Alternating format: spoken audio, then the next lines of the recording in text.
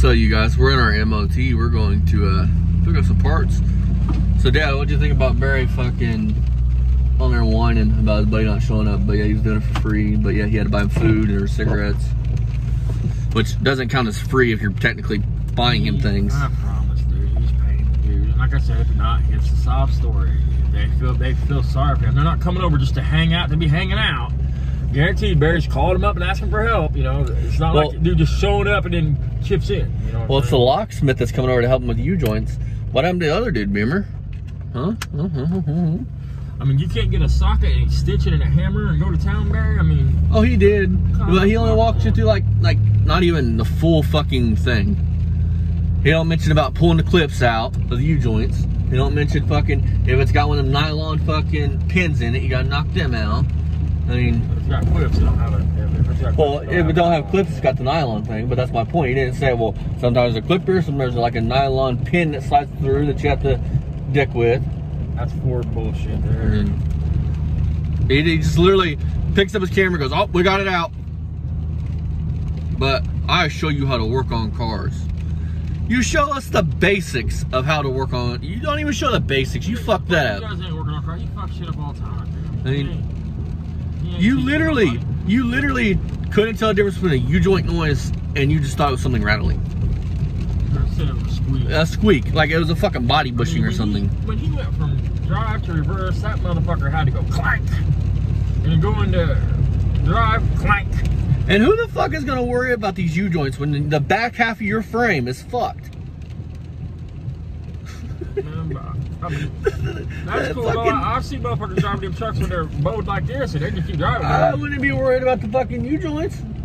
The trucks and Chevy will drive forever. Be worried about fixing my busted up fucking frame. You don't have the skills to fix that fucking frame, dude. And if you did, could you imagine how strong that shit would be? Well, we've seen him put a house trailer frame in a fucking Chrysler product. I mean, talking about it's 10 seconds, got fiberglass fenders that are all busted up and fucking. It's 10 second car. It's quarter 10 second quarter mile car, but don't have a cage. Don't have a fucking cage. But we'll do a reaction later tonight to both of these videos because they're like three minutes long. I mean, apparently, you know, he can't set up a tripod and show you guys how to knock them out and, you know, show you guys all the steps. He just tells you a, not even a quarter of the steps. And now there's a special tool that you use to do this that he was going to buy, but then he decided not to buy. He's got all this money. He says he, he's, but then he says he got his big old settlement, but then on PlayStation Live he says tells that dad or whoever, well I got six grand left. We're doing pretty good. Well, I mean, what the fuck? Then you've only got ten thousand dollars, and what you spend the rest of it on, Barry? I mean, you- you're bump on the head, and all you got was six grand.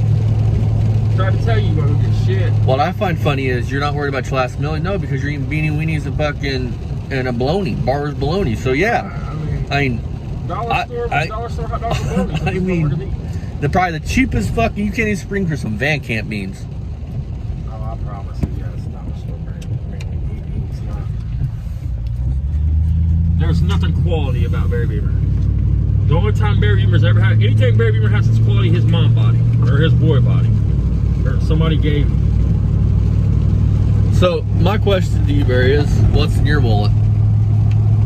You, you say you're paying bills. Have you paid off your son's twelve thousand dollar credit card debt yet? That's where the settlement went. Maybe he paid the boy's credit card down so he wouldn't get sued. Uh, I wouldn't be shocked if he don't come out and claim that's what he's done. You know because the Show the proof. canceled. Show the proof. And I'm still waiting to see if that car is a real fucking Cobra or whatever. Yeah, it's Cobra, right? yeah, I'm waiting to see if that car's a real Cobra. You know, and I'm waiting. I mean, because you know it's got all the. You, according to you, it's got every fucking little bit of. I mean, That's why we have to do the reaction videos because he has fit so much misinformation and bullshit. and then he forgets what he get says. away with it? I mean, Just like last night, he was hoping that one of them people he shut out like, "Oh, it's okay, buddy. Time heals all. We want you to mention us now." uh, I promise if people got a hold of the people and said, hey, you know, you're shouting you out in this channel, they'd probably get a hold of him again and tell him, again, you know, To get fucked, cunt. they probably wouldn't say it like that. They'd probably like, Barry, with Mr. Beamer or Barry or whatever, we, we appreciate your shout out, but we really would appreciate if you didn't shout us out anymore. We don't want to, you know, we really don't want to be associated with you like that. We wish you the best, but, because, I mean, You, want, you think you think they want a racist, a proven racist YouTuber? You know, take out take out the the, the minor attractive shit. Just the racist part. You think they want that on their channels that they're living off of? I mean, that, that they that they They're making good money for? on. I mean, But I want to point I'm not saying they're all living off their channels. That's not, I don't mean it how it's come out. I'm just saying. I mean, they worked hard for this shit. I mean, And one more thing before we up here, I want to I want to point out, Beamer, you talk about me being fat, him being fat, all of us being fat asses, right? We have seen you in your skibbies with your big ass man titties. you're five foot tall and weigh 250 pounds, Barry. That's not skinny, bud. A five foot tall man should should weigh about 160. and you should have more respect for your neighbors and their kids, because if me or anybody else, for that matter, seen you out there in your skibbies, You'd be a red. dot. you'd be a red dot. As a matter of fact, picture, got you on a video and called the law. As a matter of fact, when we come to Ohio later this month, we're gonna drive by, and if I see you in your skibbies out there, I'm gonna be sure to get a picture. And I'm gonna park down the road, and I'm gonna call the law, and we're just gonna see how this shit ends. Because that's disgusting. Nobody wants to see you in your fucking woman's panties talking about this is a 455. It's indecent exposure. I mean, Yeah. the dude walked all the way to the road. Dude. It's not like he's back there on his own property, like hidden. Dude walked to the road. He's standing right in front of, right on the edge of the road. And them kids in front of him, the, the people that lived in front of him have kids. I don't think anybody lived there at that time, though, did they? I don't know, but now they have kids. But it doesn't matter if it's fucking two weeks ago or ten years ago. He's he's about that life. He's about walking out there in his underwear. Well, think about this. Look at how his cars are parked right on the garage. You know they're over the property line. I mean, or, or let me guess, the dude built his garage on your property? I mean, come on. That shit. would And you're too happy asking it soon. Clear my way. Them cars are clear your way. Yeah. Them cars are fucking on that guy's property, on whoever owns that place's property.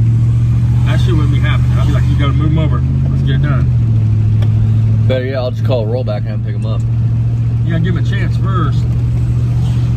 You'd have to give him a chance, then you'd have to call the law over it, then you could have a tough. But my point is, Barry, your video today was redundant. You didn't show anything. Fuck, how do we know you didn't have somebody over there doing it for you? You didn't show yourself doing it. Because oh, Barry Beamer wouldn't lie now, would he? I mean, and this ain't the stuff people want to see. You got hot rods, remember? Build a fucking hot rod. Get your Roadrunner running. Come on. Get up with the program. I got my big block truck about to be running. Get your Roadrunner running. Come on. Spring's coming. Come on. You need a hand up? You gotta go pull one of them RV motors. Come on. I mean, Engines. six thousand dollars will last that dude forever eating Bar-S bologna and Bar-S hot dogs. I mean, shit. Yeah, 'cause you ain't putting none of that shit into his cars. And then he's so gross, dude. He's like, the cats are up on the stove eating out of the pan. You nasty motherfucker. Told him to get down on PlayStation Live.